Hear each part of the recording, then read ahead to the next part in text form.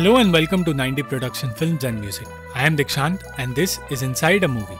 अगर आप इस चैनल पर नए आए हैं तो चैनल को सब्सक्राइब करना और बेल आइकन दबाना मत भूलना इस वीडियो में हम बात करेंगे 2002 की फ़िल्म आई एम डीना के बारे में, जो कहानी है डीना नाम की लड़की की, जो अपने पिता के साथ अपना रिश्ता बनाए रखने के साथ साथ अपने उम्र में बड़े पति के खिलाफ लड़ने की कोशिश करती है 1860 के दौर में डीना नाम की एक लड़की नॉर्वे में अपने परिवार के साथ रहती थी। उसकी माँ लॉन्ड्री का काम किया करती थी, जहाँ डीना भी उनके साथ जाया करती थी। एक दिन काम करते वक्त डीना वहाँ मौजूद मशीन के बीच में फंस गई। और उसे बचाने की कोशिश में जब उसकी माँ उसके पास दौड़ी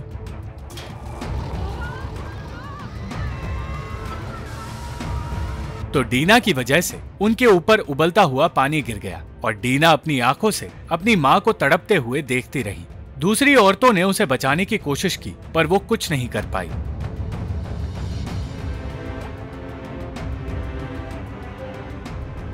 और जिस पल डीना के पिता ने अपनी पत्नी को देखा, उसी पल से वो अपनी बेटी से नफरत करने लगे। डीना को एक कमरे में बंद कर दिया गया, जहाँ वो घंटों तक अपनी माँ की चीखें सुनती रही, और उन चीखों ने डीना को सदमा पहुँचा दिया।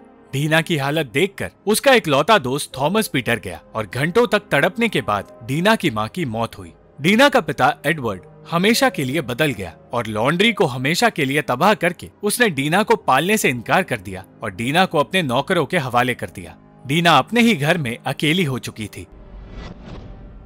और इसी अकेलेपन में उसने अपनी माँ की आत्मा को अपने पास बुलाया।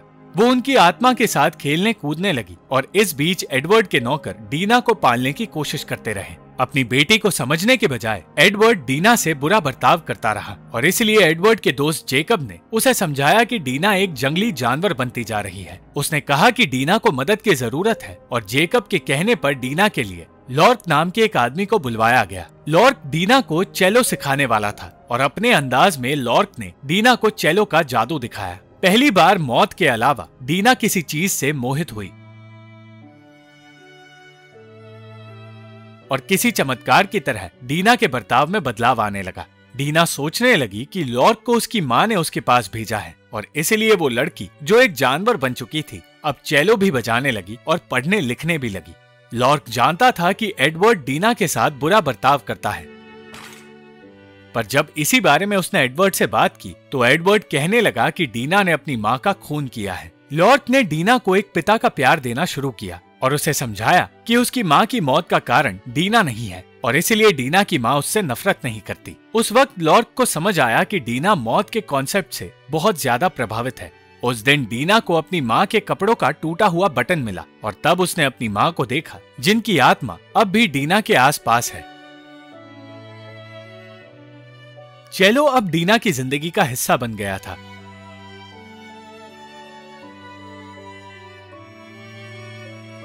और साथ ही थॉमस भी उसकी ज़िंदगी का अहम हिस्सा बन गया था। पर एक दिन जेकब ने एडवर्ड से कह दिया कि वो डीना से शादी करना चाहता है। जेकब उम्र में डीना से बहुत बड़ा था, फिर भी वो उसे पाना चाहता था और एडवर्ड ये सुनकर खुश हो गया। जब यही बात एडवर्ड ने डीना को बताई तो उसने शादी से साफ़ इनकार कर दिया और जब गुस्से में एडवर्ड ने डीना को थप्पड़ मारा तो डीना अपना आपा खो बैठी। और वो एडवर्ड को ही पीटने लगी। बुरी तरह पिटकर एडवर्ड लॉर्क के पास गया और उसने उसे नौकरी से निकालकर वहाँ से जाने के लिए कह दिया। वो समझ गया था कि लॉर्क और डीना एक दूसरे के करीब आ गए हैं और इसलिए वो उन्हें अलग करना चाहता था। जब डीना को पता चला कि लॉर्क हमेशा के लिए उससे दूर जा रहा है तो पागलपन और गुस्से में वो लॉर्क को मारने की कोशिश करने लगी। किसी तरह वो होश में आने में कामयाब हुई, पर लॉर्क हमेशा के लिए उसकी ज़िंदगी से चला गया। और कुछ सालों बाद, ना चाहते हुए भी डीना को जेकब से शादी करनी पड़ी। डीना इस नई ज़िंदगी से डरी हुई थी, क्योंकि वो हमेशा से सोचती आई है कि वो उन्हें मार देती है जिनसे वो प्यार करती है। डीना को उस घर में ले जाया गया, जहाँ जेकब अपनी माँ कैरन और अपने सौतेले बेटों के साथ रहता है। जेकब का बेटा नील्स डीना के तौर तरीकों से खुश नहीं था। पर जेकब सिर्फ़ और सिर्फ़ डीना के ख्यालों में खोया रहता था। डीना थॉमस को अपने पास रखना चाहती थी, इसलिए उसने नील से कहकर थॉमस को उसी आइलैंड पर रहने की जगह दे दी, जहाँ डीना का घर है। पर जेकब इस बात से खुश नहीं था। इसके अलावा डीना जेकब के काम में उसकी मदद करती रही, और पहली बार कोई औरत किसी बिज़नेस का हिस्सा बनी। उस दिन घर लौटते हुए जेकब ने भी डीना और मौत का रिश्ता देख लिया। डीना जिद करके उसे एक ऐसी जगह ले गई, जहाँ एक आदमी को फांसी दी जा रही थी। डीना लोगों को मरते हुए देखना पसंद करती थी। और उनकी आत्माओं को आज़ाद होते देखना चाहती थी। ये बात जेकब के अलावा भीड़ में मौजूद एक आदमी को भी समझ आ गई। जेकब इस बात से भी परेशान था कि लोग उसे डीना का पिता समझते हैं और डीना दिन रात चेलो बजाती रहती है, जिसकी वजह से जेकब को एक पल का भी सुकून नहीं मिलता। डीना का असली रूप देखकर जेकब उससे डरने लगा था। और ये बात डीना भी जानती थी। कुछ दिनों बाद जेकब डीना से छिपने की कोशिश करने लगा और बिना बताए वो कुछ दिनों के लिए डीना से दूर चला गया। इस बात ने डीना को परेशान कर दिया और वो अपनी माँ से जेकब का पता पूछने लगी। जेकब असल में किसी दूसरी औरत के पास था, जहाँ उसे शांति मिल रही थी, पर डीना के दुख में इतनी ताकत थी कि अचानक जेकब को गहरी चोट लग गई और उसे डीना को अपने पास बुलाना पड़ा। वो घर लौटकर तो आया, पर उसका पैर सड़ने लगा था। वो दिन रात दर्द में जी रहा था और डीना से माफ़ी मांग रहा था, पर उसकी हालत दिन पे दिन बदतर होती जा रही थी। उसकी हालत ना तो उसके परिवार से देखी जा रही थी और ना ही डीना से, और इसलिए डीना ने उसे इस दर्द से आज़ाद करने का फैसला किया। जेकब को अलविदा कहकर डीना ने उसे पहाड़ की चोटी से नीचे फेंक दिया और इसी के साथ, मौत के साथ उसने अपना रिश्ता और गहरा कर लिया। वो फिर से अपने पागलपन की ओर जाने लगी और उसे संभालना हर किसी के लिए मुश्किल साबित हो गया।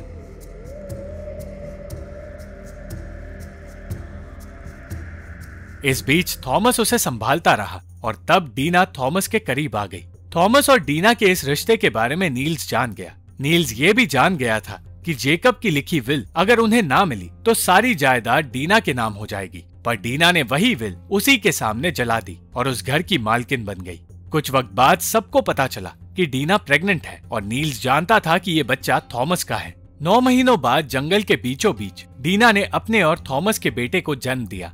थॉमस जानना चाहता था कि वो बच्चा उसका है या नहीं, पर डीना ने उसे कोई जवाब नहीं दिया। डीना ने अपने बेटे बेंजामिन को थॉमस और स्टीना नाम की एक नौकरानी के हाथों सौंप दिया और उन्होंने ही बेंजामिन को पालना शुरू किया। डीना खुद कभी अपने बेटे के करीब नहीं गई। एक दिन डीना को लॉर्क की चिट्ठी मिली, जिसमें उसने लिखा था कि चिट्ठी मिलने का मतलब है कि लॉर्क की मौत हो चुकी है। लॉर्क के चेलो के साथ आई उस चिट्ठी के ज़रिए। लॉर्क ने उसे एक सलाह दी और कहा कि उसे मौत से नहीं, ज़िंदगी से प्यार करना चाहिए। कुछ दिनों बाद बेंजामिन की वजह से उस जगह आग लग गई, जहाँ जानवरों को रखा गया था और उस आग को देखकर डीना को अपना बचपन याद आने लगा। उस वक्त एक अनजान आदमी वहाँ आया और उसने सारे जानवरों को आग से बचा लिया। डीना लियो नाम के उस आदमी की ओर खींची जा रही थी, पर उसके और लियो के बीच अब भी जेकब मौजूद था। डीना उस दौर में जी रही थी, जहाँ औरतों को दबाकर रखा जाता था और उनका मज़ाक उड़ाया जाता था। लियो को यह सब कुछ बिल्कुल पसंद नहीं था और ये बात डीना को अच्छी लगी। नील्स लियो से बिल्कुल अलग था और एक दिन उसने स्टीना के साथ ज़बरदस्ती की। नील्स की इस हरकत के बारे में लियो को पता चल गया, पर उसने नील्स से कुछ नहीं कहा। उस रात डीना और लियो ने एक दूसरे से बातें की और तब लियो ने बताया कि उसने सालों पहले डीना को देखा था। उसने ये भी कहा कि यहाँ आने का उसका मकसद डीना को पाना है। डीना को भी लियो पसंद था, पर अगले ही दिन लियो को रशिया वापस लौटना पड़ रहा था। एक और बार डीना ने किसी को खो दिया, और लियो के दूर जाने के गम में वो थॉमस के पास चली गई।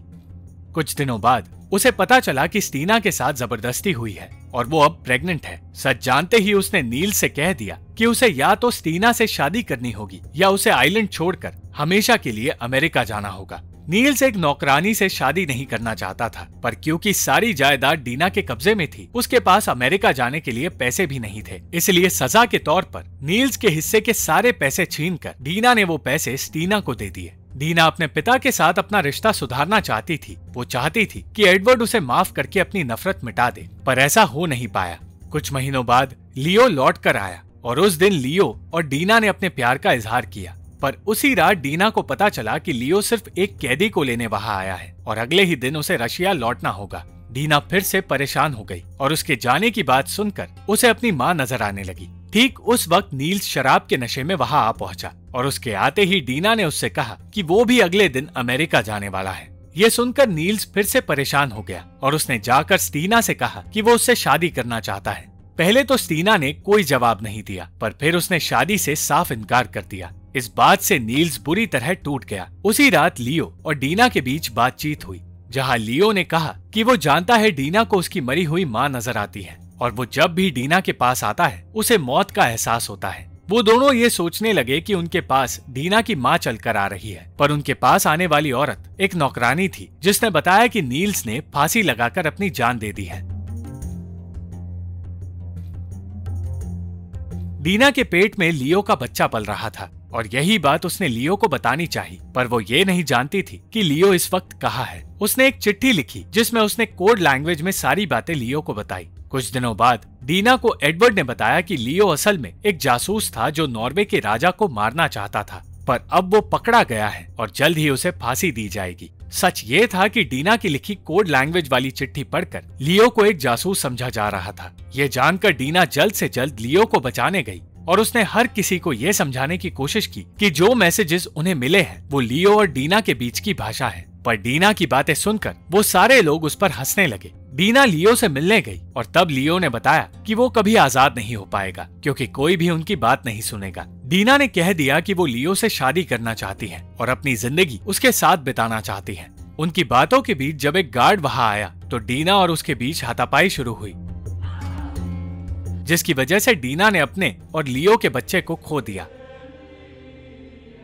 घर लौटते हुए डीना भी अपनी जान खोने वाली थी, पर उसे सही वक्त पर जेकब के दूसरे बेटे एंडर्स ने बचा लिया। डीना को अब यकीन हो गया था कि उसकी ज़िंदगी में जो कोई आता है, उनकी मौत का कारण वो खुद है, पर अब वो लियो को बचाना चाहती थी और वो एंडर्स की मदद से ये करने में कामयाब हुई। एंडर्स ने बताया कि लियो डीना की गवाही की वजह से आज़ाद तो हुआ, पर कोई नहीं जानता कि अब वो कहाँ है। थॉमस और स्टीना ने एक दूसरे से शादी कर ली और अब बेंजामिन और डीना साथ रहने लगे। पर एक दिन जब वो बेंजामिन को नाव चलाना सिखा रही थी, तब बेंजामिन पानी में गिर गया। किसी तरह डीना ने डूबते हुए बेंजामिन को बचा तो लिया, पर वो खुद मौत के मुँह में कूद पड़ी। वो अपनी मौत के लिए तैयार थी और अपनी माँ के पास जा रही थी।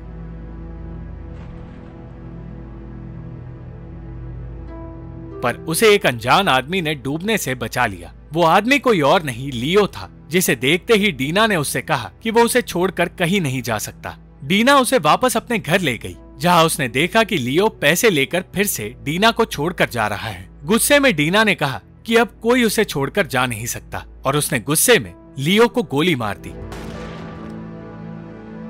उसने लियो की जान ले ली, पर फिर उसे एहसास हुआ कि वो बेंजामिन के साथ वही कर रही है जो बचपन में उसके साथ हुआ था। लियो की जान लेना सिर्फ़ डीना का एक सपना था और असली दुनिया में उसने लियो को अपने से दूर जाने दिया।